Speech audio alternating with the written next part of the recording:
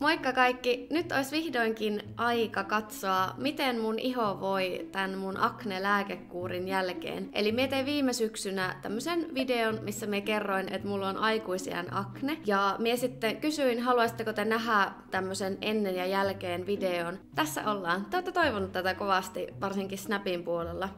Joten toivottavasti tykkäätte tästä videosta.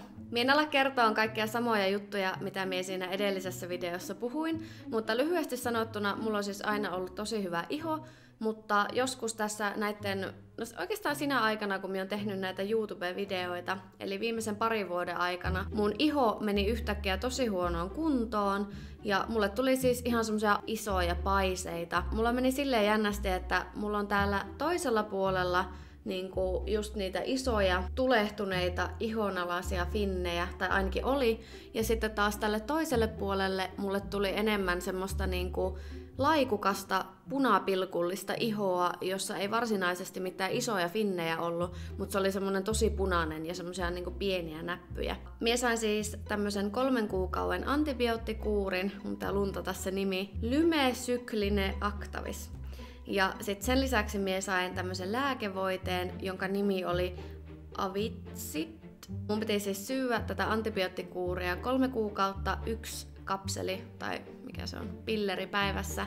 Ja sitten sen lisäksi kerran päivässä aina iltaisin levittää sitä lääkevoidetta ongelma-alueille. Niin nyt jos katsoo, mullahan edelleen näkyy tommosia punaisia jälkiä ja mulla on jäänyt tommoset syvät arvet niistä ihonalaisista finneistä, että niitähän tuo lääkekuuri ei varsinaisesti vie pois, mutta se kuitenkin mun mielestä on tasoittanut mun ihoa, että se ei ole enää niin semmonen punainen ja ei ole niin semmosia isoja tavallaan jälkiä. Ja sitten taas tällä toisella puolella se on kuitenkin kans tasottunut. Ja tää on myös tosi paljon niinku sileämpi tää tämän puolen iho, että mulla ei oo tässä enää semmoista niinku näppylää. Sitten jos vertaa niihin tavallaan niin kuin pahimpiin aikoihin, tai niin kuin viime vuoden keväällä mulla oli just tosi isoja tulehtuneita finnejä, niin siihen verrattuna tämä tilanne on tosi paljon parempi ja minä on tosi iloinen siitä. Nyt mun ei tarvi jotenkin, tai minä en enää mieti tätä ihoa niin paljon kuin silloin. Vaikka tämä onkin vielä edelleen vähän tämmönen läikikäs, niin ei ole onneksi niitä kipeitä finnejä ja ei tarvi ressata sitä, että no voiko meikata vai ei. Sitten itse lääkekuurista, se meni ainakin ainakin yllättävän nopeasti. Mulla ei muita oireita oikeastaan ollut, kun jotkuhan varoittelee, että jos on pitkä antibioottikuuri, niin se voi jotenkin vaikuttaa kroppaan tai suolistoon tai näin. Mulla ei oikeastaan mitään muita ongelmia ollut kuin silloin ekan ehkä parin kuukauden ajan tai kuukauden ajan. Mulla oli tosi kipeä tuo niin kuin kasvojen iho, että se tuntui, siis se ihan niin kuin poltti varsinkin iltasin, kun oli pessy kasvot,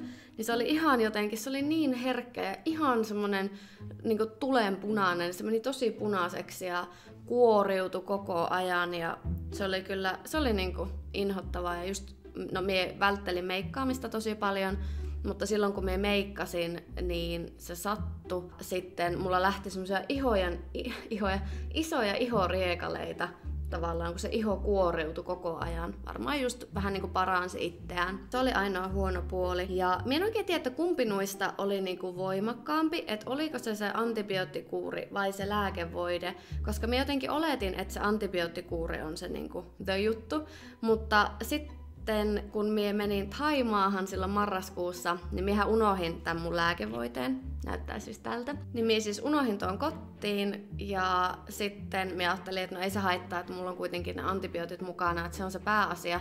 Mutta sitten yllättäen musta tuntuu, että mun iho alkoi mennä taas huonompaan suuntaan sen takia, että mulla ei ollut tuota lääkevoidetta siellä Taimaassa kahden viikon ajan. Niin en sitten tiedä. Mulla loppui siis se antibioottikuuri nyt kuukausi sitten, mutta mä oon jatkanut vielä tämän lääkevoiteen käyttöä. Mä en oikein tiedä, että missä kunnossa mun ihon pitäisi olla, tai ei tietenkään voi vielä sanoa, että kuinka kauan se niin kuin, tavallaan hoito auttaa. Et nyt, nyt tää on kuin ihan semmoisessa kunnossa, että mä oon tyytyväinen mutta en osaa sanoa, että tuleeko mulle esimerkiksi takaisin ne finnit. Tämmönen on kuitenkin mun tilanne ja mä oon vähän harkinnut, että haluaisinko me joskus hoitaa näitä mun, kun mulla on tässä toisessa poskessa tosiaan näitä tosi syviä arpia, jotka esimerkiksi meikatessa jää näkyviin aika selvästi, niin mä oon miettinyt, että mä ehkä haluaisin joskus kokeilla jotakin laserhoitoa niihin tai jotakin vastaavaa, mutta en ole vielä silleen tehnyt lopullista päätöstä, koska se maksaa kuitenkin jonkin verran. Ja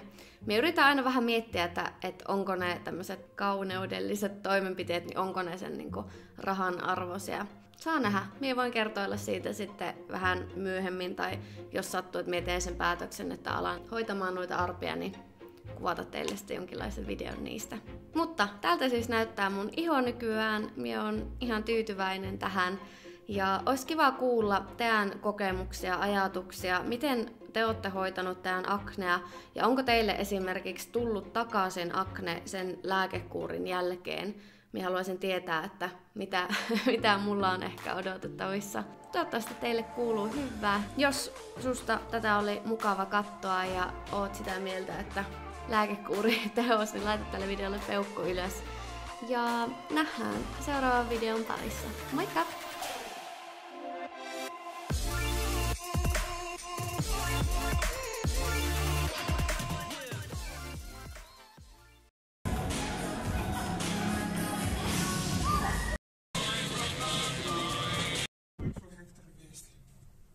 Mikä viesti? Se vaan mulle, kun sä laitat